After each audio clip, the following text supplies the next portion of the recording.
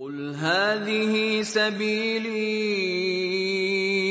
ادعو إلى الله على بصيره أنا ومن اتبعني وسبحان الله وما أنا من المشركين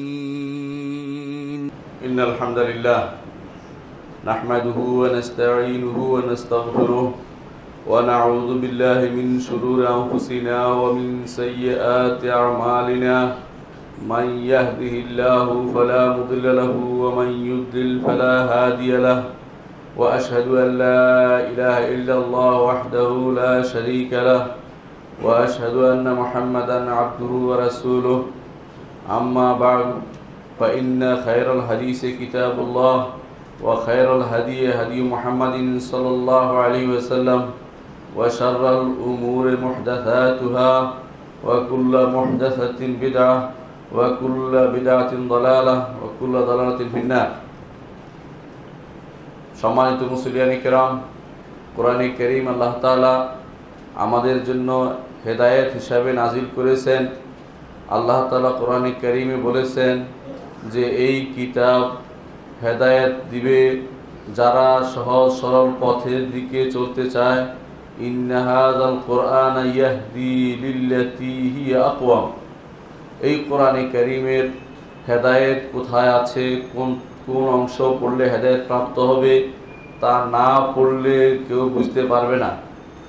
সম্মানিত মুসলিয়ানি কেরাম, কোরআনে কারিমে আল্লাহ তাআলা আমাদেরকে যেখানে যে নির্দেশ দিয়েছেন, সেখানে কান লাগিয়ে শুনতে হবে যে কি কথা বলা হচ্ছে। আব্দুল্লাহ ইবনে মাসউদ রাদিয়াল্লাহু আনহু বলেন কোরআনে কারিম আল্লাহ তাআলা যেখানে বলছেন, ইয়া আইয়ুহাল্লাযীনা আমানু হে ঈমানদারগণ, এই কথা যেখানে বলা হয়েছে সেখানে তোমার কান লাগিয়ে শোনো, কারণ তোমাকে বলা হচ্ছে অন্য কাউকে নয়। আল্লাহ তালা আমাকে সম্বোধন করে যা বলছেন, আল্লাহ তাআলা আপনাকে সম্বোধন করে যা বলছেন, তাতে রয়েছে হেদায়েত। কোরআনে কারিমে আল্লাহ তাআলা বলছেন, ইয়া আইয়ুহাল্লাযীনা আমানু ইসতাঈনু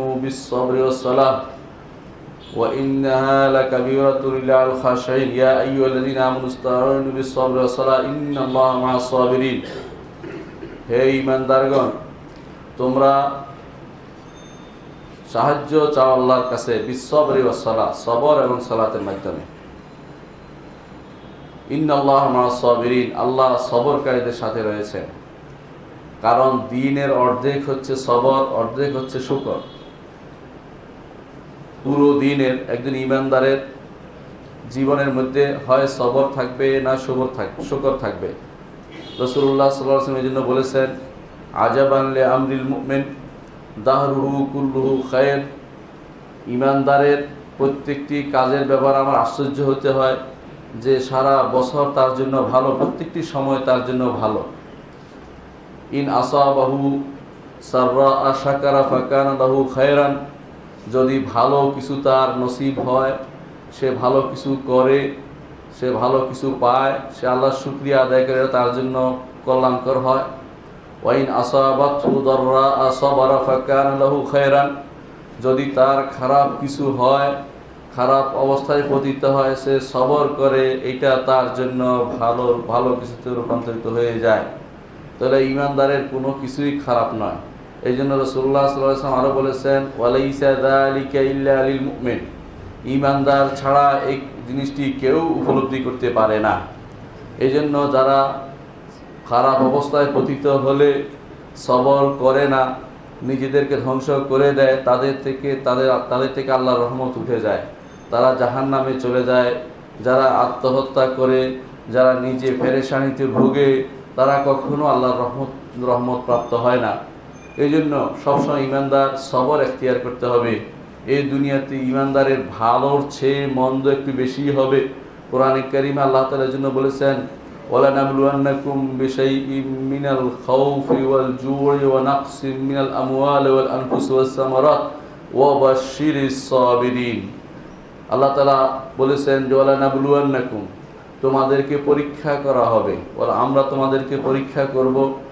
বিষয় ইমিয়াল জো খৌফিওয়াল জো ভয় থাকবে, ক্ষুধা থাকবে, ইমানদারের মধ্যে এটা থাকবেই।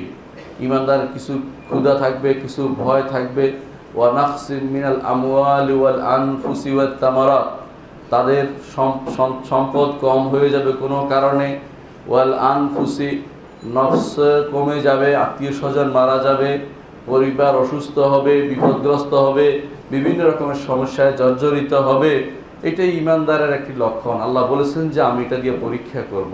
ওয়ালা নাবলুয়ান্নাকুম। আল্লাহ হচ্ছে আমরা অবশ্যই আমরা তোমাদেরকে এই দিয়ে পরীক্ষা করব। এই পরীক্ষায় প্রত্যেকটি ইমানদার টিকতে হবে। এই জন্য আল্লাহ তালা বলেছেন অবাশির সবিরিন। এই পরীক্ষায় যারা সবর এখতিয়ার করতে পারবে, তাদেরকে আল্লাহ তালা সুসংবাদ দিচ্ছেন। আল্লাদিন কি সুসংবাদ দিচ্ছেন? আল্লাদিন আসাবাতুম মুসিবাতুম। যাদেরকে এই জাতীয় মুসিবত পেয়ে বসে, অর্থাৎ কারও এই জাতীয় কোনো কিছু ঘটে, যা পছন্দ করে না, এমন কিছু তার জীবনে আপতিত হয়, এমন কিছু তার জীবনে এসে যায় যা কোনোদিন কল্পনাও করেনি। নিজের সন্তান সন্ততি, নিজের ধন সম্পদ, পরিবার, পরিজন, আত্মীয় স্বজন, তাদের মধ্যে এমন কিছু এসে পড়ে যায় যা সে চিন্তা করেনি। আল্লাহ বলছেন, তারা কি বলে? ইন্না লিল্লাহি ওয়া ইন্না ইলাইহি যে আল, নিশ্চয়ই আমরা আল্লাহর জন্য এবং আল্লাহর কাছেই আমরা ফিরে যাব। আমরাও তো আল্লাহর জন্য। অর্থাৎ তারা তখনই চিন্তা করে যে এ তো আল্লাহ তালার পক্ষ থেকে দেয়া, আর আমরা আল্লাহর কাছে ফিরে যাব। আল্লাহর পক্ষ থেকে দেয়া জিনিসে খারাপ কিছু কল্পনা করা যাবে না। এর মধ্যে কোনো না কোনো কল্যাণ রয়েছে, আর আমরা তার কাছে ফিরে যাব। এই চিন্তা করলে তার জন্য সব কিছু সহজ হয়ে যাবে। দুনিয়ার বুকে হয়তো তার বিপদ না আসলে তার ধারণায় তার ধারণা হয়তো দশ বছর বেশি বাঁচত, অথবা তার হয়তো খাবারের পরিণাম পরিমাণ বেড়ে যেত, অথবা তার সম্পদ বেড়ে যেত। কিন্তু দুনিয়ার জীবন তো শেষ জীবন নয়, তাকে আল্লাহর কাছে ফিরে যেতে হবে যখনই তার সেটা মনে হবে, তখনই তার কাছে হানা তালিহিল মসায়েব, দুনিয়ার মুসিবত তার কাছে কিছুই মনে হবে না। যে যেটাই হোক, আগে গেলেও আল্লাহর কাছে যেতে হবে, পরে গেলেও আল্লাহর কাছে যেতে হবে। সুতরাং যেহেতু তার কাছে যেতে হবে তার জন্যই আমার, তার জন্যই আমার যাবতীয় আবাদত নিবেদিত। সুতরাং আমি এই মুসিবতে সবর করি। সবিয়ত করি বলতে থাকি, ইন্না লিল্লাহি ওয়া ইন্না ইলাইহি রাজিউন। এটি আল্লাহ তাআলা এটা শিক্ষা দিয়েছেন। যখন কেউ আল্লাহর কাছে নিজেকে পরিপূর্ণভাবে সমর্পণ করে দেবে, আত্মসমর্পণ করবে যে, আল্লাহ, আমরা যা দিয়েছ এটাও স্বীকার করে নিচ্ছি। এর বিরুদ্ধে আমি কোনো কথা বলব না। এর বিরুদ্ধে বিরুদ্ধে আমি কিছু বলব না। আর আমি বরং আমিও তোমার কাছে ফিরে যাব। যাই দাও, আমি তাতে কোনো বিরোধিতা করব না। আমি শুধু বলব, আল্লাহ বিপদ থেকে উদ্ধার করে দাও আমাকে। আমাকে ইমান হিসা ইমানদার হিসাবে তুমি কবুল করো। ইমান রক্ষা করে আপনার কাছে যাওয়ার সে তৌফিক আমাকে দান করো। ইমানদার যখন এই কথা বলবে, আল্লাহ তালা বলেছেন, উলাইকা আলাইহিম সালাওয়াতুম রাব্বিহিম ওয়া রাহমা ওয়া উলাইকা হুমুল মুহতাদুন। উলাইকা আলাইহিম। তাদের জন্যই রয়েছে সালাওয়াতুম মির রাব্বিহিম ওয়া রাহমা। সালাওয়াতুম মির রাব্বিহিম ওয়া রাহমা। সালাওয়াত শব্দের অর্থ হচ্ছে তাদের মানুষ দোয়ার মনে করে, আল্লাহ তার পক্ষ থেকে দোয়া। আল্লাহ কার কাছে দোয়া করবে? এটা ভুল অনুবাদ। করতে হবে যে আল্লাহর পক্ষ থেকে তাদের জন্য রয়েছে উত্তম প্রশংসা। আল্লাহ তখন তার ফেরেশতাদের কাছে, যা তার কাছে যারা তাদের কাছে প্রশংসা করে যে, আমার বন্দাকে আমি বিপদ দিয়েছি, বন্দা সবর করেছে, দেখো। উত্তম প্রশংসা উলাইকা প্রথম প্রথম আপনার জন্য পুরস্কার রয়েছে আল্লাহর পক্ষ থেকে উত্তম প্রশংসা। আর আল্লাহর পক্ষ থেকে উত্তম প্রশংসা পাওয়ার অর্থই হচ্ছে আল্লাহ তাআলা আপনার উপর খুশি, আপনি আল্লাহ আল্লাহ তাআলা নেক বান্দাদের অন্তর্ভুক্ত। একজন মানুষ বিপদগ্রস্ত হবে। এই জন্য সবসময় চিন্তা করবে যে আল্লাহ তাআলা আমার উপর খুশি থাকলে আমার আর কিছু করার নেই। রসুল্লাহ সাল্লাহ আলিয়াল্লামের উপর আপতিত হচ্ছে, চতুর্দিক থেকে বিপদ আপতিত হচ্ছে। তখন তিনি একটি কথা বলেছিলেন, ইল্লাম বিকা সাখাতুন ফালা উবালি। হে আল্লাহ, আমার উপরে বিপদের ক্ষেত্রে আপনার যদি কোনো রাগের উপর থেকে না দিয়ে থাকেন আমাকে, তাহলে আমার কোনো অসুবিধা নেই। ফালা উবালি, আমি কোনো পরোয়া করি না। কেন? আল্লাহর কাছেই তাকে ফিরে যেতে হবে। তারপর তিনি বললেন, গায়রা আন্নি আন্না আন্না আন্না আওসা ইলেক আমার কাছে সবচেয়ে প্রিয় হচ্ছে আপনি আফিয়াতা আওসা ইলেক আপনি আমাকে নিরাপত্তা দিবেন, এটা আমার সবচেয়ে বেশি প্রিয়। ইমানদার বলা চাইবে না, বিপদ চাইবে না, কিন্তু বিপদ এসে গেলে ধৈর্য ধারণ করবে, সবর করবে, এটাই রসুল্লাহ সাল্লাম শিক্ষা দিয়েছেন। তাহলে ইমানদার সব সময় আলা জানা হাই দুই ডানাতে থাকবে, সে হয় সবর করবে, না শুকর করবে। ইমানদার কখনো ভুল পথে পরিচালিত হতে পারে না। সব সময় চিন্তা করবে যে আল্লাহ তাআলার কাছে আমি আছি। ইন্না লিল্লাহি ইন্না তার কাছে ফিরে যাব। উলাইকা আলাইহিম সালাওয়াতুম মির রাব্বিহিম যারা বলবে যে আমরা আল্লাহর জন্যই আমরা আল্লাহর কাছে ফিরে যাব। আমরা আল্লাহর বান্দা, আল্লাহ আমাদের সৃষ্টি করেছেন। আল্লাহ আমার পরীক্ষা করছেন। এই পরীক্ষা আমাকে টিকতে হবে, আমাকে এই পরীক্ষায় বেশি সে আমাকে এই পরীক্ষায় পাশ করতে হবে, তখন কি বলবে? তার কাছে ফিরে যাও আল্লাহ তাআলা বলেছেন, উলাইকা আলাইহিম সালাওয়াতুম মির রাব্বিহিম রাহমা। তাদের দুটি পুরস্কার রয়েছে। একটি হচ্ছে যে সালাওয়াত, আল্লাহর পক্ষ থেকে তাদের কথা স্মরণ করা হবে। আপনি দুনিয়ার বুকে আল্লাহকে হাজার বার স্মরণ করলেন, আল্লাহ যদি আপনাকে স্মরণ না করে, আপনার এই স্মরণের কোনো মূল্য হলো না। আল্লাহ তারা যদি আপনাকে স্মরণ করেন, এটাই হচ্ছে সলা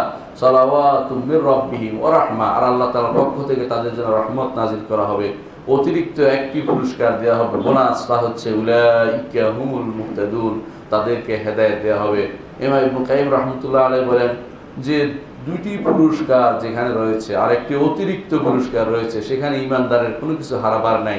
ইমানদার হয় আল্লাহর রহমতে আছে, আল্লাহর আলোচনার ভিতরে আছে, অথবা আল্লাহ তালা তাকে দুইটির কারণে হেদায়েতের পথে পরিচালিত করবে। যে ব্যক্তি সবর করবে তার জন্য শুধু হেদায়েত রয়েছে। যে ব্যক্তি সবর করবে না, তার জন্য এ হেদায়েত নাই। এই কারণ হেদায়েতের পথ থেকে দূরে সরে যাওয়ার জন্য এই সবর না করাই যথেষ্ট। সবর না করলে কেউ হেদায়ত প্রাপ্ত হয় না। আপনারা ভালো করে দেখুন, নবীরা প্রত্যেকেই সবর করেছেন। প্রত্যেক নবী সবর করেছেন। সবর না করলে তাদের এই অবস্থা হতো না। সবর করেছেন নূ আলাইসালাম তিনি তার সন্তানকে ডেকেছিলেন, আসেনি তার কাছে। বলেছিল যে আমি পাহাড়ে আশ্রয় নেব, কিন্তু পাহাড় তাকে বাঁচাতে পারেনি। তিনি সবর করেছেন, আল্লাহ বলেছেন, তুমি এই এই সন্তানকে তুমি ডেকো না, এই সন্তানের আমল ভালো নয়। তিনি ডাকেননি আল্লাহ নির্দেশে তিনি সবর করেছেন। আল্লাহ তালা তাকে সম্মানিত করেছেন। তার সন্তান দিয়েই সারা দুনিয়া ভর্তি করে দিয়েছেন। আল্লাহ তালা বলেছেন যে তার পৃথিবীর বুকে একমাত্র তার সন্তানরাই বাকি রয়েছে। কারণ যদি এক সন্তানের আহ্বানে তিনি সবর না করতেন, হয়তো সেই অবস্থা পরিগণিত হতো না যা এখন হয়েছে। নূ এবং ইব্রাহিম আলাইসালাম কি সবর না করেছেন দেখেন, তার জীবনের উপরে কত বড় বিপদ এসেছে, ফেরাউন নমরুদের বিপদ এসেছে, আগুনে ফেলার বিপদ এসেছে, স্ত্রী হরণ করার বিপদ এসেছে, সন্তানকে রেখে যাওয়ার বিপদ এসেছে, কত বিপদের সমস্ত বিপদে তিনি আল্লাহ তালার সেই ধৈর্যের পরীক্ষায় তিনি পাশ করেছেন। এটাই হচ্ছে নবীদের জীবনের শিক্ষা। আইয়ুব আলহিসাল্লাম তাকে আল্লাহ তালা পরীক্ষা করেছেন, সেই পরীক্ষায় তিনি পাশ করেছেন। তিনি শুধুমাত্র বলেছিলেন, রব্বে আন্নি মাসানিয়া দুর্ওয়ান্তা আরহামুর রাহমিন। আল্লাহ আমার তো বিপদ হয়েছে, আপনি তো দয়াশীল। আল্লাহ তালা একটুকুই তার জন্য কবুল করে তাকে তিনি রহমত নাজিল করেছেন। অনুরূপভাবে মুসা আলাইসালাম তার উপর বিপদ এসে ছোট বাচ্চাকে নদীতে ফেলে দেওয়া হয়েছে, কিন্তু আল্লাহ তালা তাকে সারা বিশ্বের বুকে সম্মানিত করেছেন সবরের কারণে। ইন্নাহু মান ইয়াত্তাকি ওয়া ইয়াসবির লা ইউযিউ আজরাল মুহসিনিন। যারা সবর করবে এবং তাকওয়া অবলম্বন করবে, যারা তাদের, যারা, তারাই হচ্ছে মহসেন। এই মহসেন সত্যিকার এহসানকারী যারা, তাদের কোনো সওয়াব আল্লাহ তাআলা নষ্ট করেন না। কোরআনে কারিমে আল্লাহ তাআলা তা ঘোষণা করেছেন। আমাদের নবী মুহাম্মদুর রাসূলুল্লাহ সাল্লাল্লাহু আলাইহি সাল্লাম তার জীবনের পুরোটাই ছিল সবর। রসুল্লাহ সাল্লামের জীবনের পুরোটাই ছিল সবর। সবর কেমন? ছোট তিনি বয়সে ইয়েতিম অবস্থায় লালিত পালিত হয়েছেন। বাইরে ছিলেন, সেখানে, সেখান থেকে বাদিয়াতে ছিলেন, সে বাইরে এলাকা থেকে এসে মোদি, আবার তিনি মক্কায় বসবাস করলেন, সেখানে বড় হলেন, সেখানে আরেকজনের তত্ত্বাবধানে বড় হয়েছেন, আবার নগদ প্রাপ্তির পরে জুলুম এসেছে, নির্যাতন এসেছে, তার পাশে তার আক্রমণ করেছে, মদিনায় আসলে হিজরত করে, সেখানে হিজরতের পথে তাকে সবর এখতিয়ার করতে হয়েছে, মদিনায় এসেও তাকে শান্তিতে থাকতে দেয়নি কাফেররা। চতুর্দিক থেকে আক্রমণ এসেছে। সেই সমস্ত আক্রমণে তিনি সবর করেছেন। এ হচ্ছে আমাদের নবীর জীবনের সবর। আর এই সবরের পুরস্কার কি? সারা বিশ্বের মানুষ কেয়ামত পর্যন্ত সাল্লাহ আলাইহি ওয়াসাল্লাম বলবে তার জন্য। কি জন্য বলবে? আল্লাহ তাকে সুন্দরভাবে যেন আলোচনা করে। সাল্লাহ আলী সাল্লাম অর্থই হচ্ছে আল্লাহ তাআলা তার সুন্দর আলোচনা করবেন নবীর উপরে। নবীর উপর রহমত প্রেরণ নয়, কারণ সলাওয়াত এবং রহমত ভিন্ন দুটি শব্দ। অর্থ হচ্ছে নবীকে সুন্দর, নবীর কথা সুন্দরভাবে আলোচনা করা। এটাই হচ্ছে দিকরুল্লাহ আজ্জা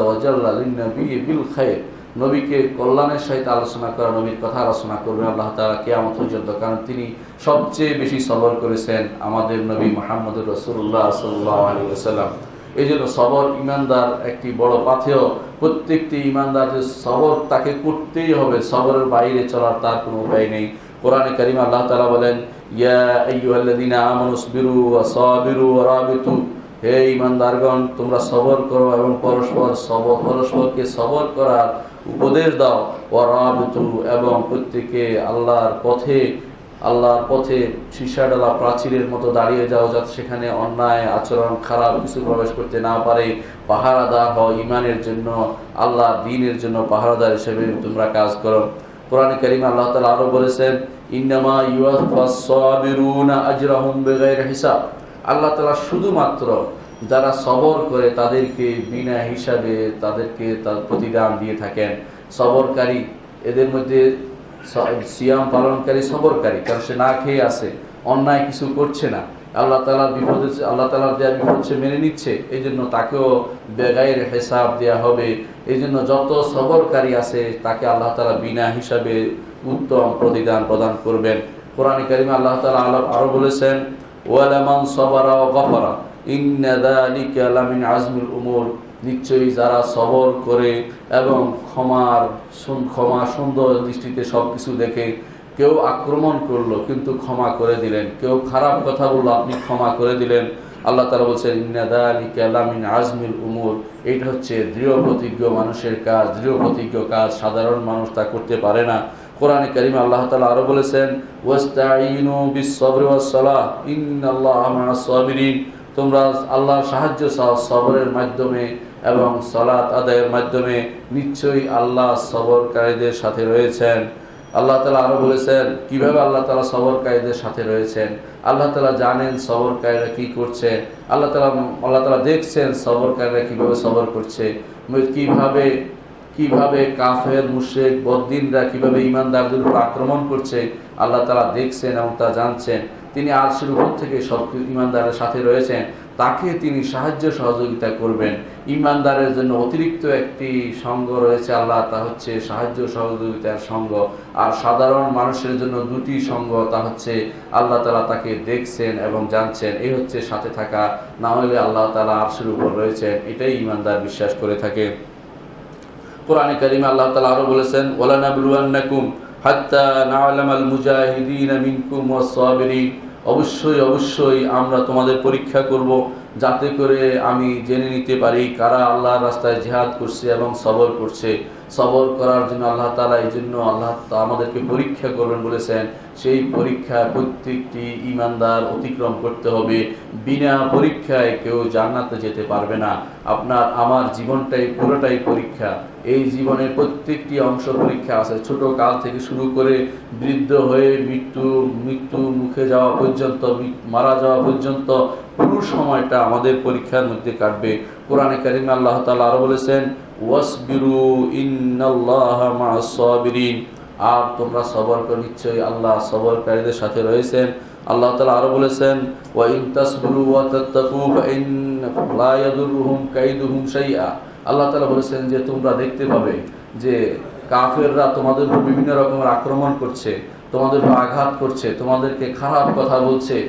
এক একজন সুযোগ পেলে কাউকে কাফের বলে, কাউকে ফাসেক বলে, অথবা আরও খারাপ কথা বলে, ইহুদি, নাসারা পর্যন্ত বলে অনেক সময়।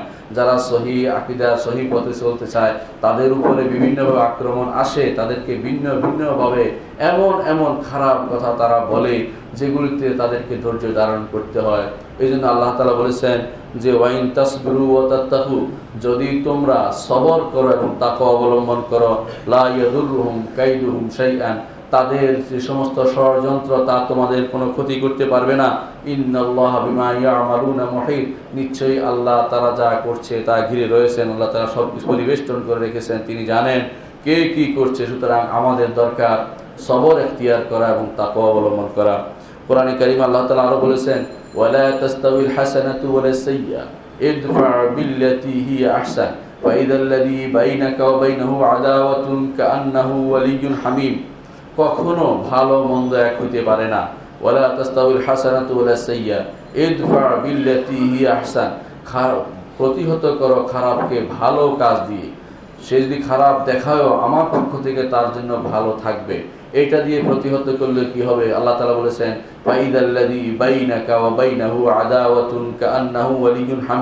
তোমার মধ্যে এবং তার মধ্যে যে শত্রুতা আছে তা অন্তরঙ্গ বন্ধুতে পরিণত হবে। জীবনে এটা পরীক্ষা করে দেখুন, যারা আপনার সাথে খারাপ ব্যবহার করে, আপনি যদি খারাপ ব্যবহার না করেন, অন্তত মুখ ফিরিয়েও থাকেন, কিছু না বলেন, একসময় তার মধ্যে ভাবান্তর হবে যে আমি তাকে এত আক্রমণ করি সেটি কিছুই বলে না। নিশ্চয়ই কিছু শোনার বিষয় আছে। নিশ্চয়ই এতে কিছু বিষয় আছে যে কারণে সে চুপ করে গেছে, তখন সে শুনতে বাধ্য হবে। আর যদি তর্কের খাতিরে তর্ক করেই যান, তার সে একটি কথা বলল, আপনি তার পাল্টা জবাব দেন। কোনো দিন সেখানে হেদায়তের পথ প্রাপ্ত হবে না, হেদায়ত দেখতে পাবে না কেউ। এই জন্য প্রত্যেকে আল্লাহ তালা বলেছেন, লা তাস্তাউল প্রত্যেককে আল্লাহ তালা বলছেন ইমানদারদেরকে যে, লা তাস্তাউল হাসানাতু ওয়ালা সাইয়্যা যে কখনো ভালো মন্দ একরকম নয়। ইদফা বিল্লাতি হি হাসান, তুমি ভালো কিছু দিয়ে তা প্রতিহত করো।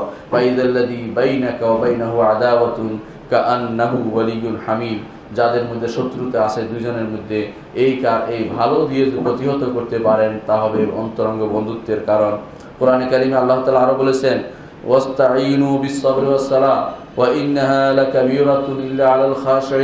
আর তোমরা সাহায্য আল্লাহর কাছে এবং মাধ্যমে। যদিও যারা বিনয়ী, তারা উপর কঠোর, তারা সেটা আদায় করতে পারে না। আর সলাতের মধ্যেও সবর রয়েছে। কারণ সবরুকা ইল্লা বিল্লাহ। কোরআনে কারিমে আল্লাহ তাআলা বলেছেন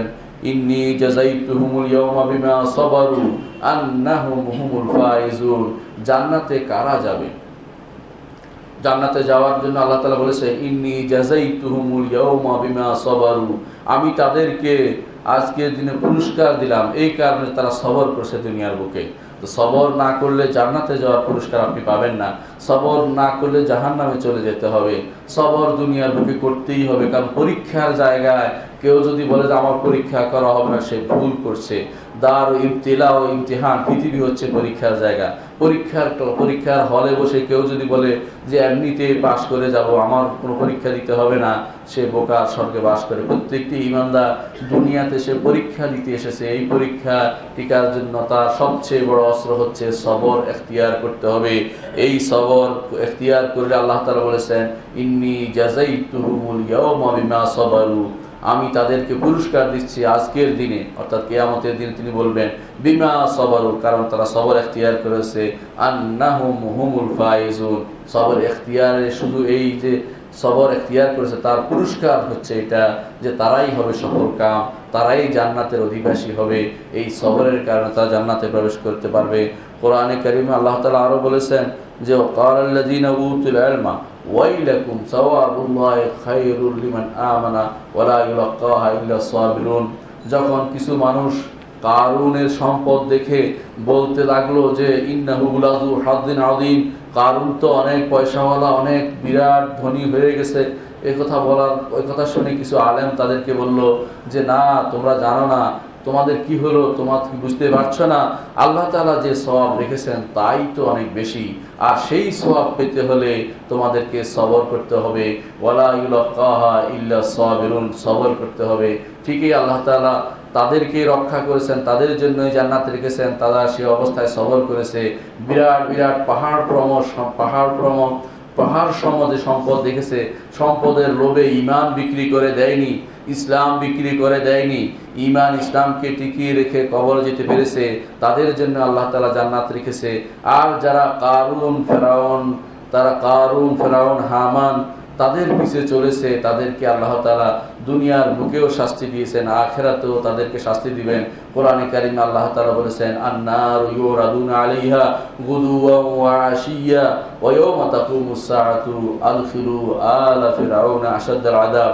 যে তাদের সামনে কবরে তাদের মধ্যে, তাদের কাছে আগুন পেশ করা হবে, জাহান্নাম পেশ করা হবে। আর যেদিন কেয়ামত হবে, সেদিন তাদেরকে আল ফেরাউন, ফেরাউনের অনুসারীদেরকে, যারা ফেরাউনের মতো চল চল করবে কর্মকাণ্ড চালাবে যারা দুনিয়ার উপরে বাহাদুরি করবে, দুনিয়ার জীবনকে নিয়ে যারা সম্পূর্ণরূপে খুশি থাকবে এবং নিজেদেরকে সবকিছু প্রাধান্য বিস্তারের জন্য নিজেরা পরিচালনা করবে, আমিত্ব বজায় রাখবে, নিজের আমিত্বের জন্য আল্লাহর দিনকে প্রসার করতে বাধা দিবে, আল্লাহর দিনের বিরোধী হবে। আল্লাহ তারা তাদের সম্পর্কে বলেছেন আন্না তারা হবে আন, তারা সেই ইয়াকুদু মকাউমাহু ইয়াউমাল কিয়ামা, সে সমস্ত সেই ফেরাউন তাদের ইমাম হবে, ইমাম হয়ে তাদেরকে জাহান্নামের দিকে নিয়ে যাবে। না তাদেরকে জাহান্নামে নিক্ষেপ করবে।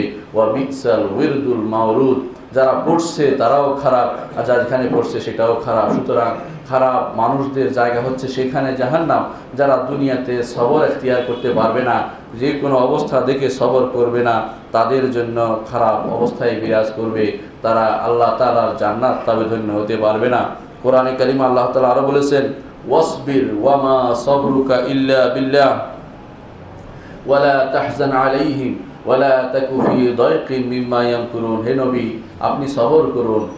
ওমা সবরুকা ইল্লা বিল্লাহ, আপনি সবর করতে আপনাকে এটাও আল্লাহ আল্লাহ তাআলার নামই তো আপনি সবর করছেন। দুনিয়ার কোনো উদ্দেশ্যের জন্য নয়, একমাত্র আল্লাহর জন্য আপনি সবর করছেন।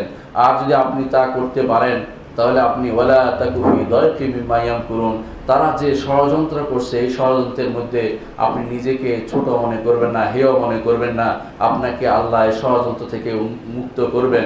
এটাই হচ্ছে ইমানদারের কাজ। ইমানদার কখনো কোনো ষড়যন্ত্রকে ভয় পায় না, কারণ সে সবর করে এবং সেই সবর আল্লাহর সাহায্যে সে সবরটা এখতিয়ার করতে পারে। কোনো মানুষ ইচ্ছা করলেই সবর করতে পারে না। যতক্ষণ না আল্লাহ তালা তাকে হেফাজত করে, আল্লাহ তালাকে সাহায্য করে। আল্লাহ সাহায্য, সবরের জিনিসটা ইউল হামিন আল্লাহ আল্লাহর মধ্যে এলহাম হয় যে, এই মুহূর্তে আমার করণীয় হচ্ছে সবরুন জামিল। যেমন সবর করেছেন ইয়াকুব আলাইসালাম বা সবরুন জামিল, তিনি বলেছেন, এবং তিনি এই জন্য আল্লাহর কাছে পুরস্কার পেয়েছেন সবচেয়ে বেশি যে তার ছেলে মিশরের রাজা হয়েছে এবং তার সন্তানরা সেখানে হত্যা কর্তা হয়েছে, কর্মকাণ্ড পরিচালনের পরিচালনার যোগ্য তৈরি হয়েছে। এই সবই হয়েছে সবরের কারণে। সবরের এই পুরস্কার আল্লাহ তালার পক্ষ থেকে নির্ধারিত। কোরআনে কারিম আল্লাহ তালা আরও বলেছেন, ওয়াসবির হুকমে রব্বিকা বা ইন্নাকা বিআইউনিনা আর আপনি সবর করুন, আল্লাহর বিধান মেনার জন্য। আল্লাহর বিধান মানতে হলে তাহলে সবর করতে হয়। আল্লাহর বিধান মানার জন্য সবর করতে আল্লাহ আল্লাহ তালা তার নবীকে নির্দেশ দিয়েছেন। এই নবীকে নির্দেশ দেওয়া হচ্ছে আমাদেরকেও নির্দেশ দিয়েছেন। সলাৎ আদায় করতেও সবর করতে হয়। সেই সবর এখতিয়ার আমাদের করতে হবে। রসুল্লাহ সাল্লাহ আলী ওসাল্লাম সবরের ব্যাপারে বলেছেন, আন আবি মালিকিল আশারি রাদিয়াল্লাহু আনহু। আবি মালিক আশারি রাদিয়াল্লাহু আনহু তিনি বলেন আত্মুরু শত্রুল ঈমান, পবিত্রতা হচ্ছে ঈমানের অর্ধেক। আলহামদুলিল্লাহ তামলাউল মিজান। কেউ যদি আলহামদুলিল্লাহ মন থেকে বলে, সকল প্রশংসা আল্লাহ তাআলার জন্য, সকল হাম, তাহলে তামলাউল মিজান তার মিজান পরিপূর্ণ করে দেয়। যেই মিজানের পাল্লা ভারী হলে আমরা জান্নাতে যেতে পারব, সেই মিজান পরিপূর্ণ করে দেয়। ওয়াসুবহানাল্লাহ আলহামদুলিল্লাহ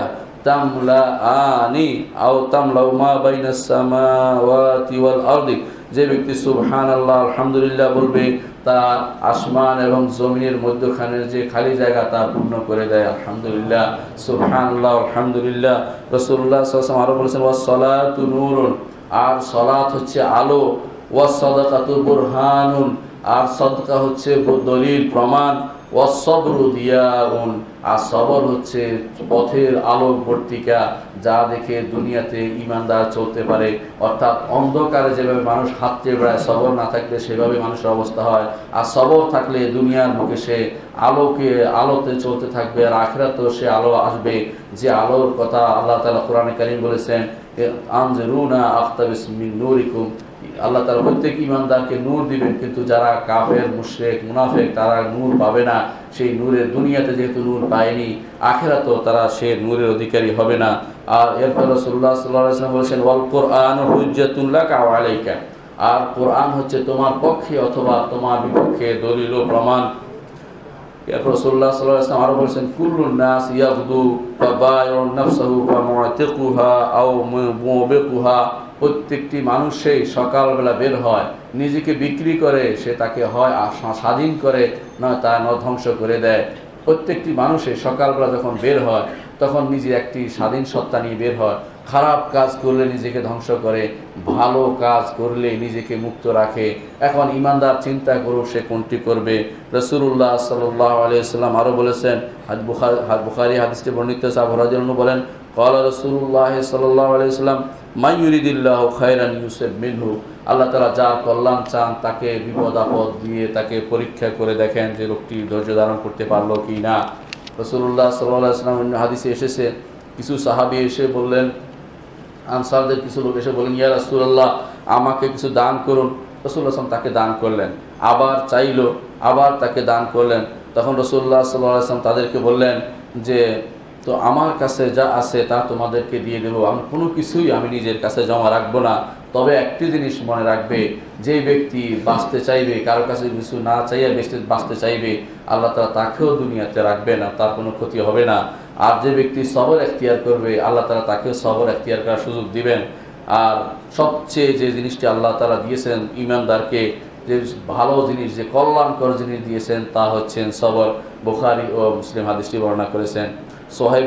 রাদিল্লাহ আনু বলেন, কল রসুল্লাহ সাল্লাহ রসুল্লাহ বলেছেন ইমানদারের কোনো খারাপ নয়। যদি সে ইমান নিয়ে থাকতে পারে তার ভালো এবং তা হয় শুক্রিয়া আদায় করবে না সবর করবে, না শুকর করবে। আনাস বর্ণিত আছেন, তিনি বলেন রসুল্লাহ সাল্লাহ যখন বিপদ, মৃত্যুর যন্ত্রণা তার উপরে এসে গিয়েছিল, তখন ফাতেমা আল্লাহ আনহা বলছিলেন, ওয়া করবা আবাতা হে আমার পিতার কষ্ট। তখন রসুল্লাহ সাল্লাম তাকে বললেন, লাইসা আলা আবিকা কুরবুন আজকের দিনের পরে আর তোমার পিতার উপর কোনো কষ্ট হবে না। মা রসুল যখন মারা গেলেন, তখন আয়স তখন বললেন, ইয়া আবাতা আজা বারব্বান দাঁড়া। ইয়া আবাতা জান্নাত আল ফিরদাউসে মাওয়া। ইয়া আবাতা, ইলা জিবরিল فلما دفن قالت فاطمة أطابت أنفسكم أن تحسوا على نبيكم التراب ফাতেমা রাদিয়াল্লাহ বললেন যে হে পিতা আপনি আপনার রবের সা- রব- রবের ডাকে সাড়া দিয়ে চলে গেছেন হে পিতা আপনি জান্নাতের জান্নাতুল ফেরদাউসে আপনার ঠিকানা হবে হে পিতা জিবরিলের কাছে আমরা আপনার আপনার এই মৃত্যুর সংবাদ জানাচ্ছি পি যখন ফাতেমা তখন দাফন করা হলো রসুল্লাহ সাল্লাহ আসলাম তখন ফাতেমা বললেন যে, তোমরা কি রসুলের উপর মাটি দিয়ে খুশি হয়েছ? এটুকু তিনি শুরু বললেন, আর কোনো বিপদে, এই বড় বিপদে, মুসলিমদের এই বড় বিপদে তিনি ধৈর্য ধারণ করেছিলেন। ইমানদার মাত্রই ধৈর্য ধারণ করতে হবে। রসুল্লাহ সাল্লাহ আলিয়াল্লামের মৃত্যু হচ্ছে একটি বড় বিপদ। যেই বিপদে সাহাবা একরামের অনেকেরই হুঁশ চলে গিয়েছিল কিন্তু সেই বিপদে সবচেয়ে বড় ধৈর্য ধারণকারী ব্যক্তি ছিলেন আবু বকর আনহু। তিনি বলেছিলেন তোমাদের মধ্যে যে কেউ মুহাম্মাদের ইবাদত করতো, সে জেনে রাখুক যে মুহাম্মদ মারা গেছে। ওমান কানা ইয়াবুদুল্লাহ ওয়া ইন্নাল্লাহ হাইয়ুন লা ইয়ামুত। আর যে ব্যক্তি আল্লাহর ইবাদত করতো, সে জেনে রাখো আল্লাহ তাআলা চিরঞ্জীব তিনি কখনো মারা যাবেন না এরপর তিনি বললেন যে অমর আদিয়ালকে ডেকে বললেন অমর এই আয়াত কি তুমি শুনোনি আল্লাহ তাআলা বলেছেন ওমা মুহাম্মাদুন ইল্লা রাসূল قد خلت من قبل الرسل أفإن مات أو قتل انقلبتم على أعقابكم এ ওমর তুমি কি আয়াত পড়নি যে মোহাম্মদ তো একজন রাসূল যদি তিনি মারা যান এবং অথ- অ- অথবা তার তাকে হত্যা করা তোমরা কি তুমি পিছন দিকে ফিরে যাবে তখন ওমর আদিন বললেন, যে আমার মনে হলো আয়াত প্রথম আমি শুনেছি। কারণ রসুল্লাহ সাল্লাহ আলাইসাল্লাম মৃত্যুতে কেরাম উপরে যে অবস্থা আপতিত হয়েছিল, বিপদ আপতিত হয়েছিল, তাতে অনেকেই কঠিন অবস্থায় ছিলেন। একমাত্র সেই কঠিন অবস্থার মধ্যে যিনি দৃঢ়পদ ছিলেন, তিনি হচ্ছেন আবু বকর রাদিয়াল্লাহু আনহু। কিন্তু অন্য কেউ এমন কিছু বলেননি যে সবরের বিপরীত, কিন্তু রাদিয়াল্লাহু আল্লাহ তাআলা এর চেয়েও উন্নত উন্নত বিবেক দান করেছেন যে কারণে তিনি এই সময় সবাইকে সঠিক পথে পরিচালিত করতে পেরেছিলেন। বিপদের সময় সবচেয়ে বড় দরকার হচ্ছে বিপদের সময় কি করতে হবে তা শিক্ষা দেয়া।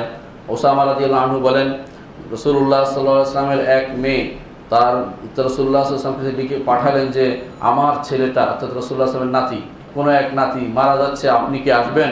রসুল্লাহ সাল্লাহ বলেন, তোমাকে রসুল্লাহ আসলাম বলে পাঠালেন যে তাকে সালাম দাও এবং বলো যে সেই জন্য এটা বলে শুধু চলে যা বলে ইন্নালিল্লাহি মা আখাজা ওয়ালাহু মা আরতা ওয়া কুল্লু শাইইন ইনদাহু বিআজালিন মুসাম্মা।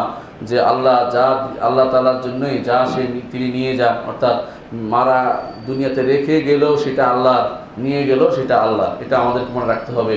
এরপর তিনি বলেছেন, কুল্লু সেই নাইন্দা হবে আজালি মুসাম্মা যে প্রত্যেকটি মানুষেই, প্রত্যেকটি মানবেই, প্রত্যেকটি প্রাণী সুনির্দিষ্ট সময় পর্যন্ত জীবিত থাকবে।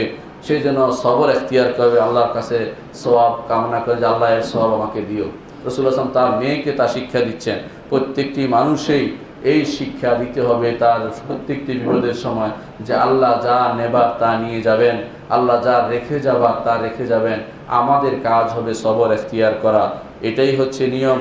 রসুল্লাহ সাল্লাম থেকে তিনি আরও বলেন, কানা মালিকুন ফিমান কানা কাবলাকুম।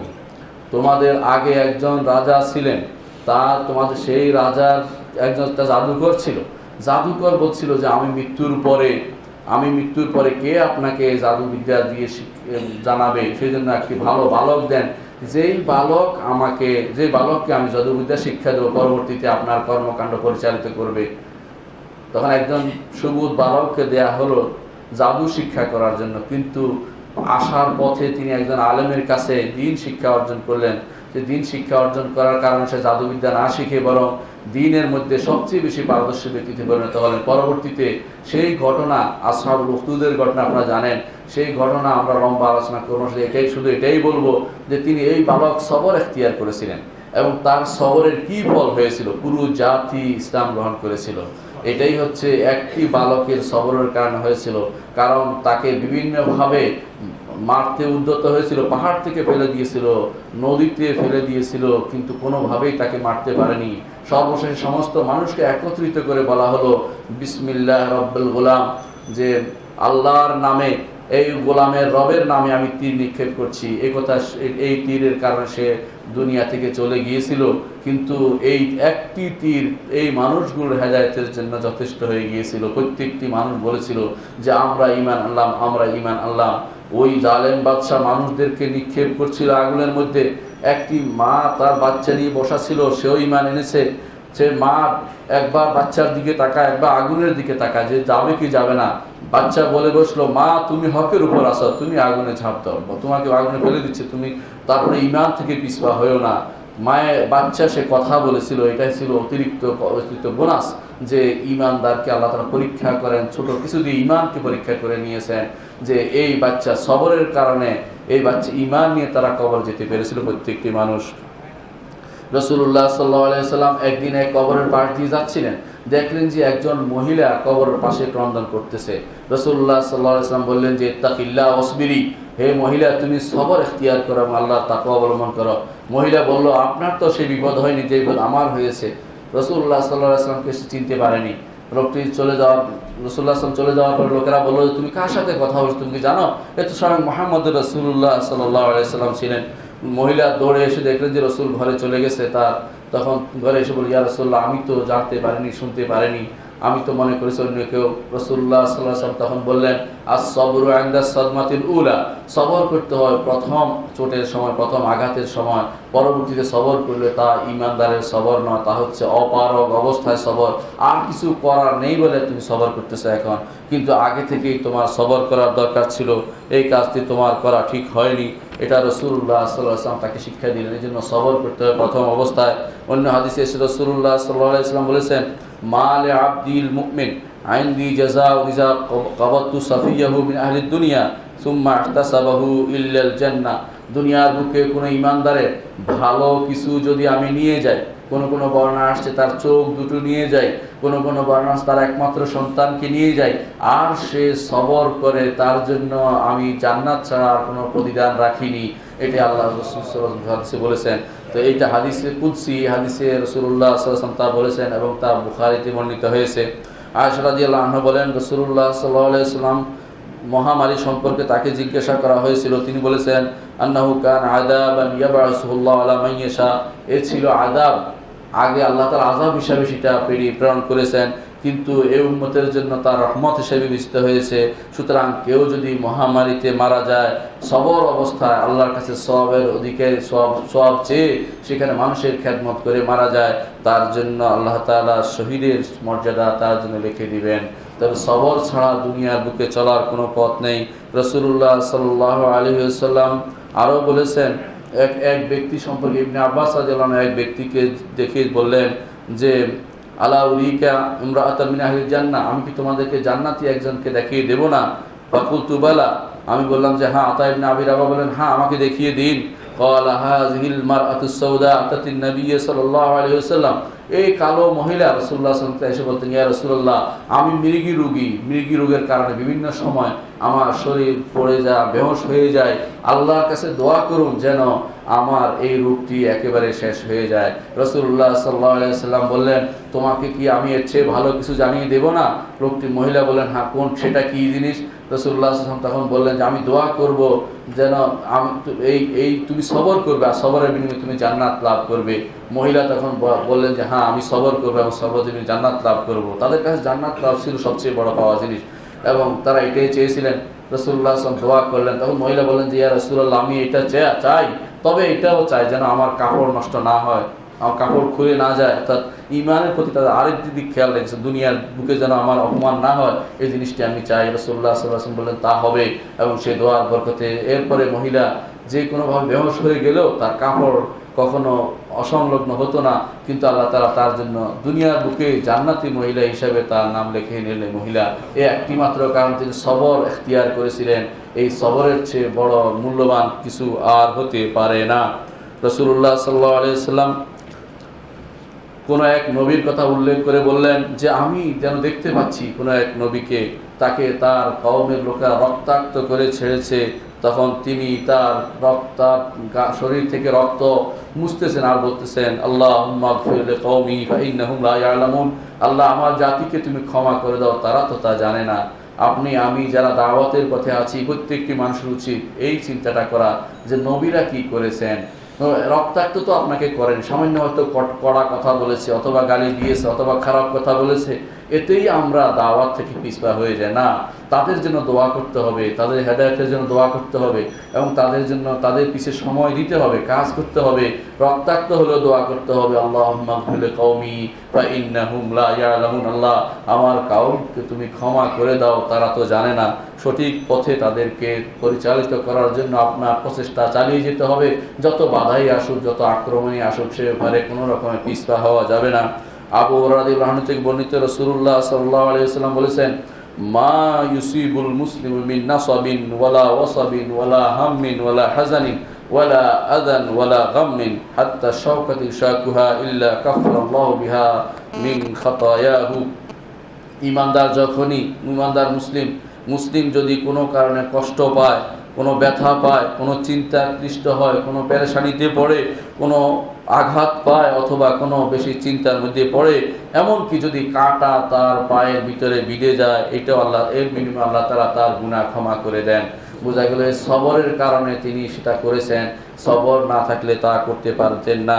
ইবনে মাসরুদ আদি আল্লাহ আনহু বলেছেন, দাখালতু আলেন নবী সাল্লাম ও ওয়াইয়াকু রসুলের মৃত্যুসজ্জায় আমি যখন গেলাম, রসুলের কাছে তিনি বারবার কষ্ট পাচ্ছিলেন।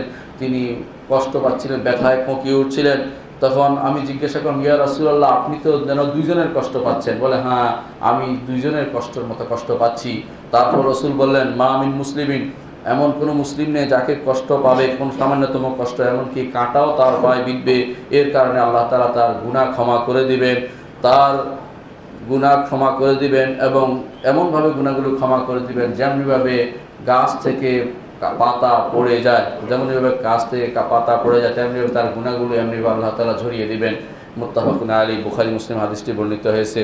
তবে এর অর্থ এই নয় যে আমরা সবসময় এই আল্লাহ কাছে বিপদ দেখে বিপদ চাইব না, কখনো বিপদ চাইব না। বিপদ আসলে বিপদ থেকে বাঁচার জন্য সব সময় আল্লাহর কাছে সবর এখতিয়ার করব।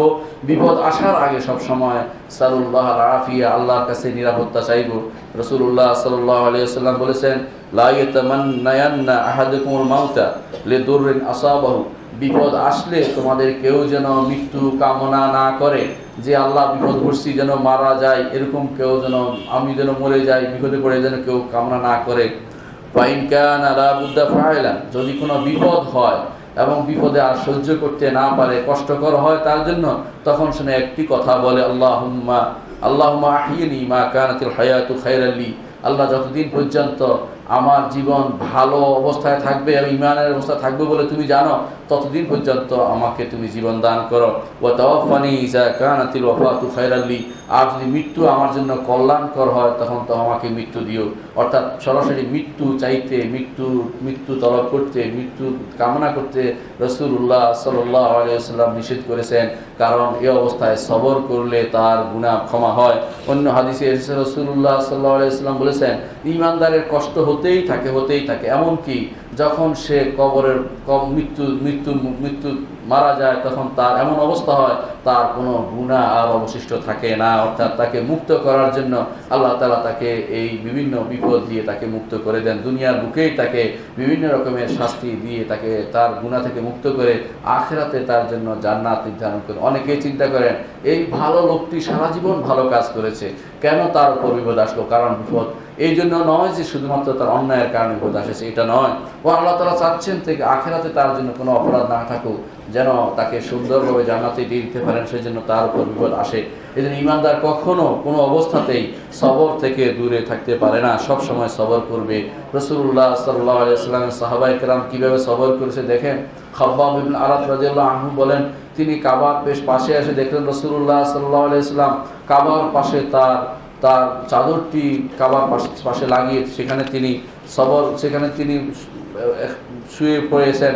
তিনি এসে বলেন ইয়া ইয়া রাসূলুল্লাহ, আপনি কি আমাদের জন্য দোয়া করবেন না? এমন মুশরিকরা আমাদের উপরে এত বিপদ বিপদ দিচ্ছে, কষ্ট দিচ্ছে, আপনি আমাদের আমাদের জন্য দোয়া করেন আল্লাহর কাছে, যেন মুশরিকদের ধ্বংস করে দেয়। রসুল্লাহ সাল্লাহ আলাইসাল্লাম বললেন, তোমাদের উচিত হচ্ছে সবর করা। কারণ তোমাদের আগে যারা ছিল সে সমস্ত নবীদেরকে করাত দিয়ে দুর্ভাগ করা হতো, কাউকে বিভিন্নভাবে কষ্ট দেওয়া হতো, কিন্তু এর কোনো কিছুই দিন থেকে তাদেরকে বিমুখ করতে পারেনি।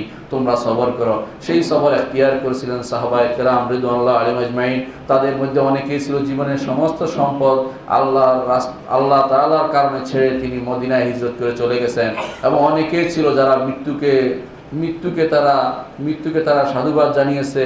তারা চায়নি দুনিয়ার বুকে বেঁচে থাকতে কুকুরের মাধ্যমে, বরং মৃত্যু বেছে নিয়েছে তারা অনেকেই আছেন। তারা জানেন, আপনারা জানেন, এদের মধ্যে বিখ্যাত ছিলেন যে প্রথম সুমাইয়া রাদিয়াল্লাহু আনহু, তার বাবা মা, তারা সবাই আল্লাহ রাস্তায় জীবন দিয়ে দিয়েছেন, কিন্তু দিন থেকে তারা এক পা বিচলিত একটু সরে দাঁড়াননি। বেলাল রাদিয়াল্লাহু আনহুকে সে কীভাবে মরুভূমির উত্তপ্ত বালুর মধ্যে টানা হতো, কিন্তু এটা কোনোটাই তাকে দিন থেকে সামান্যতম সরিয়ে দিতে পারেনি। এসবই সবরের সবরের কিছু উদাহরণ আমরা দিলাম। কিন্তু মনে রাখতে হবে, সবর সবর করতে হবে তিনটি জিনিসের মাধ্যমে। একটি হচ্ছে আসবরু আলা বালা ইল্লা, আল্লাহর বালা। আরেকটি হচ্ছে আসবরু আলা নেয়ামাতিল্লাহ। আরেকটি হচ্ছে আসবরু আলা আলাল আলা মাসিল্লাহ তিনটি জিনিসের উপর সবর করতে হবে। এক নম্বর হচ্ছে আল্লাহ তাআলার আল্লাহ তাআলার আবাদতে সবর করতে হবে। আল্লাহ তালা আবাদতের ক্ষেত্রে কীভাবে সবর করবেন? প্রথমত আবাদতের জন্য নিয়ত লাগবে আপনার। সুনির্দিষ্ট নিয়ত কীভাবে করবেন চিন্তা করেন। আপনি নিয়ত করছেন, একটা কিছুক্ষণ পর পাল্টে যাচ্ছে। এই নিয়ত ঠিক রাখা, এই আল্লাহর জন্যই করছি, আল্লাহ তালার আল্লাহ তালা নিয়ম, আল্লাহ তালা দেখার নিয়মে করব, আল্লাহর জন্যই করব, এটা আপনার আবাদত করার আগে আপনার একটা সবর লাগবে। আবাদত করার সময় সবর লাগবে কি? কেউ যেন দেখতে পাচ্ছে রিয়া করার চিন্তা চলে আসছে কিনা, তাকে তাড়িয়ে দিতে হবে। আবাদ করার সময় সুন্দর করে যেভাবে আবাদ করা বলা- করার নির্দেশিত হচ্ছেন, সেইভাবে আপনাকে আবাদ করতে হবে। এই সবর আপনাকে করতে হবে আল্লাহ আবাদ করতে। অনুরূপভাবে আবাদের পরেও আপনাকে সবর করতে হবে আবাদের জন্য কি? যে আবাদতটি করেছি আবাদতটি হেফাজত করতে হবে। কোনোভাবেই যেন আবাদ নষ্ট না হয়ে যায় সিঁড়ি কুপুরি নিফাকি অথবা এই জাতীয় জিনিস দিয়ে আবাদত যেন আমার নষ্ট হয়ে না যায় সে ব্যাপারেও আমাকে সবর করতে হবে। ইমানদার সবর ছাড়া আবাদত করতে পারবে না। ওয়াসবির ওয়ামা সবরুকা ইল্লা বিল্লা সবর করতে হবে, আল্লাহ তালার সাহায্যে আমাকে সবর করতে হবে এবং চাইতে হবে, আল্লাহ, তুমি আমাকে আবাদতটা করার ক্ষেত্রে তুমি সবর দাও আমাকে, সুন্দরভাবে যেন তোমার আবাদতটা করতে পারি।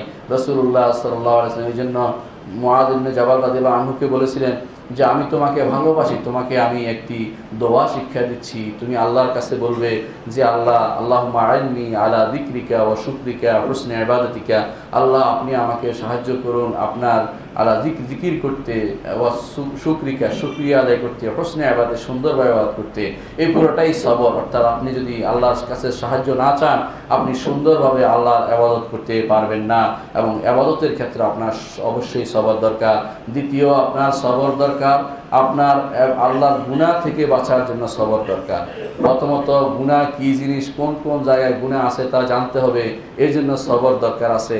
এবং যখন গুনাহ হয়, তখন সেখানে কীভাবে সরে আসতে হবে, সেই জিনিসটি আপনি জানতে হবে। তার মধ্যে সবরের দরকার আছে। ওই ব্যক্তির কথা স্মরণ করুন, যেই ব্যক্তি, ব্যক্তিকে তার এই মহিলা, যে মহিলা অত্যন্ত জাত মনসবুল ওয়া জামাল, সুন্দরী এবং অত্যন্ত বড় পদের মহিলা ডাকিছিল কিন্তু সে ছেড়ে চলে এসেছিল। তার জন্য আল্লাহ তালা রেখেছেন আর সে ছায়ার নিচে তার তার স্থান হবে। রসুল্লাহ সাল্লাম যেভাবে বলেছেন, সেই ব্যক্তি যেমনিভাবে আল্লাহ তালা ইউসুফ আলাই সাল্লাতামকে দিয়ে আমাদের শিক্ষা দিলেন, কীভাবে সবর করতে হবে, অন্যায়, অশ্লীল কাজ পরিত্যাগ করার জন্য কীভাবে সবর করতে হবে তা শিক্ষা দিলেন। আজকের দিনে এই সবর সবচেয়ে বেশি জরুরি। ঘর থেকে বের হলেই আমরা নগ্নতা দেখতে পাই। ঘরের ভিতরে নগ্নতা চলে এসেছে, হাতের মুঠোয় নগ্নতা চলে এসেছে। এ সময় প্রত্যেকটি যুবককে সবরের উপরে বড় করতে হবে। আমাদের ঘরে অনেক, অনেকের ঘরেই টিভি আছে, ডিশ আছে, অনেকের ঘরেই খারাপ চিত্র রয়েছে, সবই কিন্তু এই সবই সবর আলা মসাইব আলা মাসিল্লা আল্লাহর মাসিয়ত, আল্লাহর অবাধ্যতা থেকে নিজেকে সবর করে বাঁচিয়ে আনতে হবে। একটি দৃশ্য যে চোখে পড়েছে, দ্বিতীয়বার তাকাবেন না। এই কঠিন শপথ করুন যে দ্বিতীয়বার অন্যায়ের দিকে তাকাবো না। দ্বিতীয়বার অন্যায় করব না। এই বেঁচে থাকা খুব কঠিন হয়ে দাঁড়িয়েছে সারা বিশ্বে। আজ আমাদের জন্য বেঁচে থাকা চ্যালেঞ্জ হয়ে দাঁড়িয়েছে। ইমানদার আজ যেখানে যায়, সেখানে তাকে আক্রমণ করা হয়। ভিন্ন লাইনে দাঁড় করানো হয়। ভিন্ন ভিন্ন মেশিন দিয়ে তাকে পরীক্ষা করা হয়।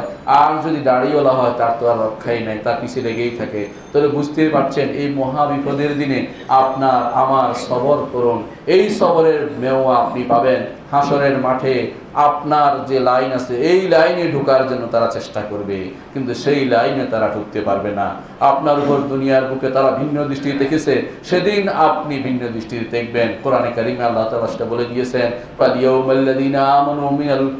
ইয়াদহাকুন আলাল আরাইকি ইয়ানজুরুন, হাল তুওয়াবাল কুফফারু মা কানু ইয়াফআলুন। আজকের দিন ইমানদারদের উপর কঠিন বিপদ আসছে। বিভিন্ন জায়গাতে বিভিন্ন স্থানে, এমনকি নিজের ঘরেও, নিজের বাইরে, ঘরের কর্মস্থল, সব জায়গাতে। কে একজন বলছে আমাকে যে, তাকে বলেছে, তার বড় বড় অফিসার বলতেছে, আপনার দাড়িতে আমি চুইংগাম লাগিয়ে দেবো। নাউজুবিল্লাহ। তো কতটুকু হিংস্র হলে মানুষ এই কথা বলতে পারে? এই সবই হচ্ছে আল্লাহর জন্য। সে সবর এখতিয়ার করতে হবে। এই এই লোকের কথা শুনে যদি তিনি দাড়ি কেটে ফেলেন, তাহলে তিনি সবর এখতিয়ার করতে পারলেন না। ইমানদারের কাজে, প্রত্যেকটি কাজে সবর এখতিয়ার করা। আর দুনিয়ার বুকে এর সব কামনা না করা, এর সব সে পাবে আল্লাহ রব্বুল ইজ্জতের কাছে। যত অপরাধী হোক, যত অন্যায় হোক, আমার উপর যত বিপদে হোক, এমনি কোনোটাই চলে যাবে না। ফলা গাফিলান। আম্মা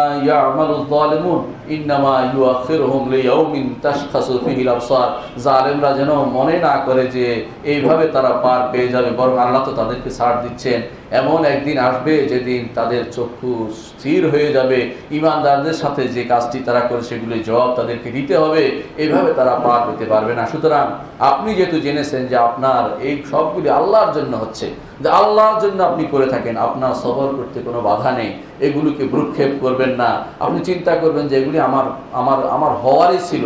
না হওয়ার অর্থ হচ্ছে আমার মধ্যে কোন ত্রুটি আছে। কারণ আমি তো হকের উপর আসি বাতিল কখনো হককে দেখতে চায় না। বাকি বাতিল কখনো হকের সাথে আপোষ করতে চায় না। বাতিল চায় সে করোনা কোনোভাবে হকের সাথে আসতে কিন্তু হকের নিয়ম হচ্ছে সবসময় উপরে থাকবে, বাতিল নিচে থাকবে। সুতরাং মনে রাখবেন, দ্বিতীয় সবরটি আমাদের এখতিয়ার করতে হবে। যে কোনো মূল্যে আমাদেরকে সবর এখতিয়ার করতে হবে, অন্যায় আচরণ থেকে, গুনার কাছ থেকে মুখ ফিরিয়ে রাখতে হবে, সন্তান সন্ততিদেরকে সেখান থেকে সেখান থেকে বের করে আনতে হবে, আত্মীয় স্বজনকে সেখান থেকে বের করে আনতে হবে, পরিবার পরিজনকে এই অন্যায়, অশ্লীলতা থেকে ফিরিয়ে আনতে হবে। এর চেয়ে বড় সবর বর্তমান সময়ে আর কিছু দেখি না। তৃতীয় সবর হচ্ছে বিপদ আপদে সবর করা। বিপদ আপদের সবরের ইতিহাস আমাদের কাছে অনেক লম্বা। সেই লম্বা ইতিহাস আলোচনার সুযোগ নেই, শুধু এতটুকুই বলব, বিপদে মানুষ পড়বেই। আল্লাহ তালা যেভাবে বলেছেন ওয়ালানাবলুয়ান্নাকুম লিশাইইন মিনাল খাউফি ওয়াল জু'i ওয়া নাকসিন মিনাল আমওয়াল ওয়াল সাবিরিন। যে সবরকারীকে এই বিপদে যারা সবর করবে, মানুষের বিপদ যেখানেই হোক না কেন তার টাকা পয়সায় হতে পারে, আত্মীয় স্বজনের মৃত্যুতে হতে পারে, তাদের আঘাতে হতে পারে, অসুস্থতা হতে পারে, সমস্ত জায়গাতে তার তার বড় কাজ হবে সবর এখতিয়ার করা।